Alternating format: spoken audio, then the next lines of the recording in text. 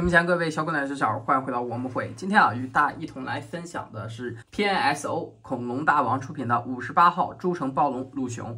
那这款呢，也是好友非常力荐的一款啊。呃，而且呢，跟我算是比较有渊源啊。呃，本身呢，我作为一个大连人呢，他是闯关东来到大连这个城市的。所以算是半个山东人。咱们这个诸城暴龙呢，是以山东诸城啊为命名的，所以啊也算是半个老乡。拿到手呢，确实是爱不释手啊。最近呢，就是疯狂的在购入。孔大的恐龙系列，那陆续呢也会给大家去做这个录制的。包装盒呢一贯的孔大风格，白色的面板呢非常干净。五十八号诸城暴龙鲁熊，顶部呢是闭嘴时候的这个造型。纸品呢一张朱豹的绘画海报啊，我比较喜欢的这个小册子啊也进行回归了。可以看到朱豹的各种角度的展示图，后面呢也是有我个人非常喜欢的和赵闯老师学画恐龙。其实这个系列呢，我觉得。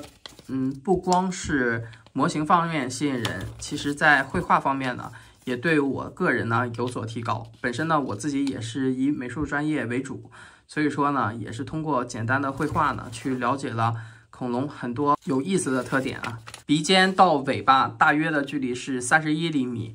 呈现的是一个即将要奔跑的一个造型，可以看到它一侧的前肢呢微微抬起，另一侧呢呈现一个奔跑的样式，来给出了一个透明的支架。本身的一个站立性呢做的其实是很不错的。接下来呢，我们来看一下这个本体的一个细节。首先呢，猪豹的头部呢后半部分呢，它呈现的是一个比较宽的一个样子，前半部分呢它是比较窄的，眼睛后方。和前方呢都有这种角质物，然后呢牙齿这个部分呢也是猪豹，我觉得比较有特点的地方。猪豹整个的牙齿呢是外露的啊，这种大鳞片的一个包裹呢非常有厚实的这种质感。脸上的这个部分呢呈现的是大块的这种鳞片的褶皱，与身体上面的这种小鳞片呢形成了比较鲜明的对比，所以呢整个头部的这个细节呢拿捏的十分到位啊。牙齿呢。也是可以张开，可以看到舌苔内部的这个细节刻画。整体呢，舌苔内部的这种细节和外层的这种啊肉粉色的一个感觉呢，都做得很好。整体的这种过渡呢，算是非常自然。尤其是脖颈的部分啊，这种旧化的后角质层到脊椎、大腿部分，包括尾部呢，类似于虎斑纹的一个效果呢，都呈现的比较好。嗯，它的手指呢，呈现的是两节，后肢呢有四个脚趾头。然后这一次呢，赵闯老师呢，把三个前指呢，呃，立在地上，后脚趾的一个地方呢，微微抬起，类似于一个奔跑的一个造型。外侧的脚爪部分呢，做出了这种旧化的一个效果。肌肉走向呢，呈现的也是更加的有层次和立体。大腿的这种肌肉走向，加上这个动态的一个表现呢，呈现的是非常到位的。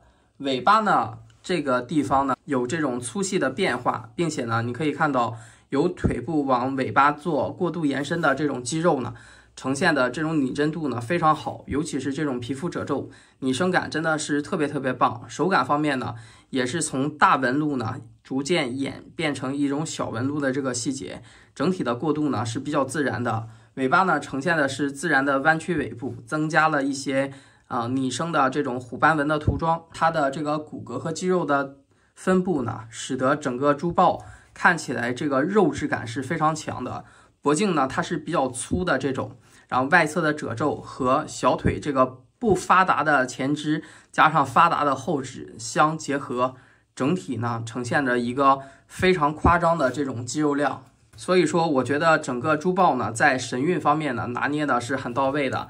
另一侧呢也是呈现的这种呃不规则的形式。我个人还是觉得在头部的这种大鳞片的细节和眼睛的表达层次感上面呢，我觉得做的是非常的到位。整个的这种身体的大渐变色的结构呢，也使得整个珠豹呢有着不一样的霸气。